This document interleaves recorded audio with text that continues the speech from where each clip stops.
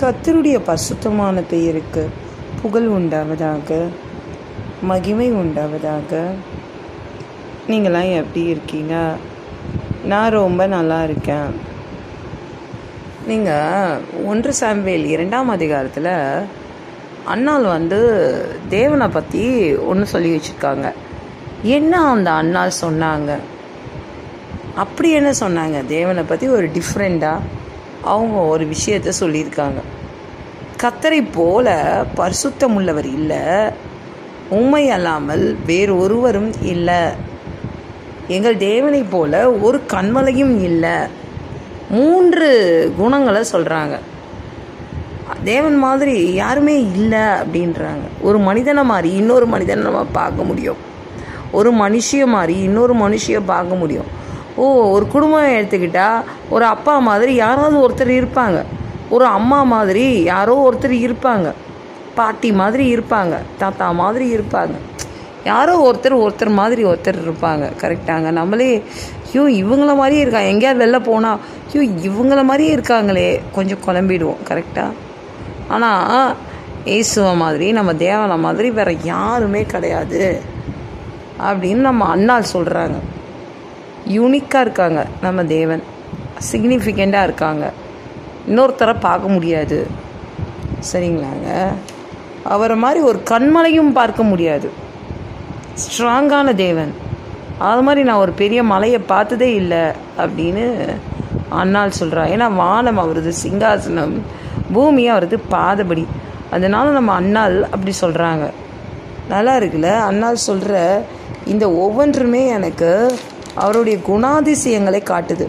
இதுதான் கேரக்டர் தேவனுடைய கேரக்டர் யாருமே பார்க்க முடியாது. ஏசு மாதிரி இந்த பூமியில் வேற யாராவது வந்து நான் உங்களுக்காக ஒட்டுமொத்த மனிதர்களுக்காக உயிர் கொடுக்குறேன்னு யாராவது உயிர் கொடுத்துருக்காங்களா? யாராவது உயிரோடு எழுந்திருக்காங்களா? கரெக்டாக அண்ணால் சொல்கிறது கரெக்டாங்க உண்மை அல்லாமல் வேற ஒருவரும் இல்லை. அவரை மாதிரி பசுத்தவான்கள் இந்த பூமியில் யாருமே எந்த ஒரு யாருமே பார்க்க முடியாது. அப்படி ஒரு பரிசுத்தம் உள்ளவர். அவர் மாதிரி ஒரு பெரிய மலையே கிடையாது கண்மலை நல்லா இருக்குல்ல அண்ணால் சொல்கிறது ரொம்ப நல்லா இருக்குது அதனால் பெருமை அடிச்சுக்காதீங்க. பெருமைலாம் நம்மளுக்கு மனிதர்கள் தான். நம்ம ஏன் பெருமை அடிச்சுக்கிறோம்? அதனால் பெருமை அடிச்சுக்காதீங்க அப்படின்னு அண்ணால் சொல்கிறார் அவர் ரொம்ப ஞானமுள்ள தேவன். ரொம்ப அறிவாளி. ஞானி. நம்ம தேவன் வந்து பக் பக்கத்தில் வச்சுருக்கீங்களே பெரிய ஞானிங்க. என்ன அட்வைஸ் வேணால் அவர் உங்களுக்கு கொடுப்பாரு. இதை மாதிரி யாரையும் நீங்கள் பார்க்க முடியாது. சரிங்களா? இப்போ ஒருத்தர்கிட்ட இருக்கிற அறிவு மாதிரி இன்னொருத்தருடைய மனிதன் யாரோ ஒருத்தரை நீங்கள் கண்டுபிடிக்க முடியும். ஓ இவங்கள மாதிரியே அறிவு இருக்குது இவங்க மாதிரியே எனக்கு பழகிறதுக்கு வசதியானவங்களாக இருக்காங்க. கண்டுபிடிச்சி சொல்ல முடியும். ஆனால் தேவன் மாதிரி ஞானி இந்த உலகத்தில் வேறு யாருமே கிடையாது. சரிங்களா? தேவன் வந்து அவர் தான் பூமியை சொந்தம் பாராட்டுறாரு. அவர் தான் படைச்சார். வேறு யாராவது வந்து இந்த பூமியை சொந்தம் பாராட்டுறாங்களா? பிசாசு சொந்தம் பாராட்டுது. ஆனால் அது பாதாளத்தில் தூக்கி எறியப்பட போகுது. கரெக்டாங்க அதாவது இந்த தேவனை மாதிரி வேறு எந்த யாரையும் நீங்கள் பார்க்க முடியாது. உயிரை கொடுத்தாரு. ம ஒட்டுமொத்த மனிதர்களையும் மா காப்பாற்றணும் அவங்களுக்கு உயிர்த்தெழுதலை கொடுத்தாரு. அண்ணால் ரொம்ப அழகாக அவருடைய அவருடைய அதிசயமான அந்த குணத்தை அவ்வளோ அழகாக சொல்கிறாங்க சரிங்களாங்க?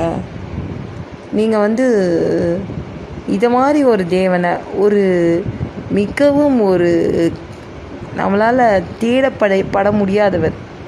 அரி அரிதானவர் அவர். அது மாதிரி தேவன்கிட்ட தான் நம்ம நெருங்கியிருக்கோம். அப்போனா நம்ம எவ்வளோ பயபக்தியாக இருக்கணும்னு தெரிஞ்சுக்கோங்க. சரிங்களா? நம்ம கிட்ட நெருங்கணும். அதுதான் முக்கியம். கிட்ட நெருங்குங்க. உங்களை பு உங்களை பிடிச்சி தள்ளி விடுங்க. தேவனுக்குள் பிடிச்சி தள்ளி விடுங்க. ஏன்னா நம்ம ஆன்மா போகாது பொல்லாதது. இருக்கிறதுலே பொல்லாதது யார் தெரியுமாங்க? நம்ம ஆன்மா நம்ம மனசு தான்.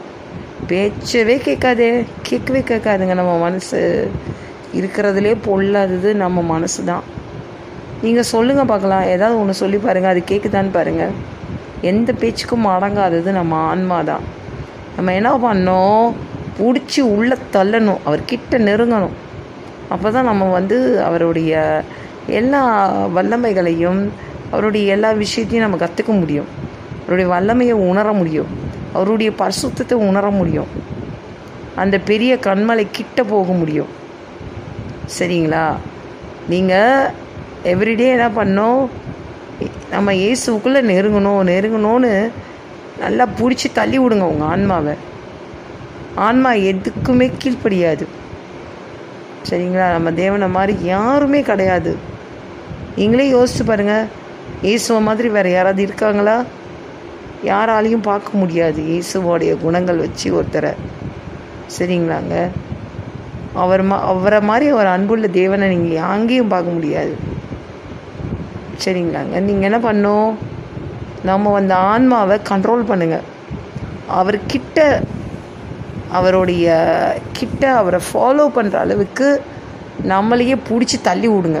தள்ளி விட்டால் தான் நம்ம வந்து பரலோகத்துக்குள்ளே போக முடியும். அதை பலவந்தம் பண்ணுறவங்க தான் பரலோகத்தை பிடிச்சிக்கிறாங்களாம். பலவந்தம் பண்ணோம். பிடிச்சி தள்ளி கஷ்டப்பட்டு எப்படியாவது புஷ் பண்ணி நல்லா உள்ளே தள்ளி விட்றணும் ஆன்மாவை. நம்மளுக்கு ஸ்ட்ரென்த் இருக்குது நம்ம உடம்புக்கு ஸ்ட்ரென்த் இருக்குங்க. இந்த உடம்பு என்ன பண்ண முடியும்? ஆன்மாவை பரலோகத்துக்கு தள்ளிவிட முடியும். அந்த பவர் நம்மக்கிட்ட இருக்குது கரெக்டாங்க இந்த உடம்புக்கு நரகத்தில் நம்ம ஆன்மாவை கொண்டு போடவும் முடியும். இந்த உடம்பால் நம்மளை இந்த ஆன்மாவை என்கரேஜ் பண்ணி கரெக்டாக பரலோகத்துக்கும் அனுப்ப முடியும். நம்மளுக்கு தேவை பரலோகம் தான். அப்போ எந்த அளவு பிடிச்சி தள்ளணும்னு யோசித்து வச்சுக்கோங்க. காலையிலே இந்த உடம்பு என்ன பண்ணணும்? சோம்பேறித்தனத்தை விட்டுட்டு பிடிச்சி தள்ளி விடணும். அதிகாலை ஜபத்துக்கு பிடிச்சி தள்ளி விடணும். ஆன்மாவை பிடிச்சி தள்ளி விடணும். ஜபம் பண்ணு. இந்த உடம்பு என்ன பண்ணணும்? ஆன்மாவை பிடிச்சி தள்ளி விடணும். ஜப் பைபிள் படிக்க வைக்கணும். சரிங்களாங்க? அப்படி பிடிச்சி தள்ளி எல்லாவற்றிற்கும் பிடிச்சி முன்னாடி தள்ளி விட்டிங்கன்னா பரலோகத்தில் போய் நிற்போம். நம்ம தேவனை பார்க்கும்போது என்ன பண்ணுவோம்? அவங்க ஜீவ புஸ்தகத்தில் பேரை பார்ப்பாங்க. உன் பேர் ஜீவ புஸ்தகத்தில் இருக்குது நீ உள்ளே போன்றுவாங்க புதிய பூவிக்கில் அவ்வளோதான் நிம்மதியாக வாழ்ந்துடலாம்ல. இனிமேலேருந்து பிடிச்சி தள்ளி விடுங்க. சரிங்களா? ஒரு அம்மா அப்பா எப்படி குழந்தைங்கள ஸ்கூலுக்கு பிடிச்சி தள்ளி விடுறாங்களோ குழந்தைங்க சில பேர் தான் சந்தோஷமாக வராங்க. ஆனால் நிறைய பேர் வந்து ஸ்கூலில் வந்து எனக்கு போர் அடிக்குது. எனக்கு சந்தோஷமாக இல்லை இன்ட்ரெஸ்டாக இல்லை. அப்படி தான் நினைக்கிறாங்க. ஏன்னா இந்த உலகம் மொபைல் ஃபோனுக்கு அடிமையாகிடுச்சு அவங்க வீட்டில் இருக்கும்போதெல்லாம் மொபைல் ஃபோன் பார்த்துட்டு ஃப்ரீயாக இருக்கிறாங்க. மொபைல் ஃபோனில் ஒவ்வொரு செகண்டும் அவங்க எத்தனை வீடியோ வேணால் பார்க்க முடியும். ஆனாலும் என்ன பண்ணுறாங்க ஒரு பேரண்ட் பிடிச்சி தள்ளி தான் விடுறாங்க. அவங்க நினச்ச மாதிரி ஷேப் பார்க்குறதுக்காக பிடிச்சி தள்ளி விடுறாங்க. நம்ம நினச்ச இடத்துக்கு நம்ம ஆன்மாவை அனுப்புறதுக்கு உங்ககிட்ட வல்லமை இருக்குது பிடிச்சி தள்ளி விடுங்க உங்கள் ஆன்மாவை. பரலோகத்துக்கு. புரியுதுங்களா? இந்த வீடியோ பிடிச்சிருந்துச்சுன்னா மற்றவங்களுக்கு ஷேர் பண்ண மறக்காதீங்க. கத்தத்தாமே உங்களை ஆசிர்வதிப்பாராக.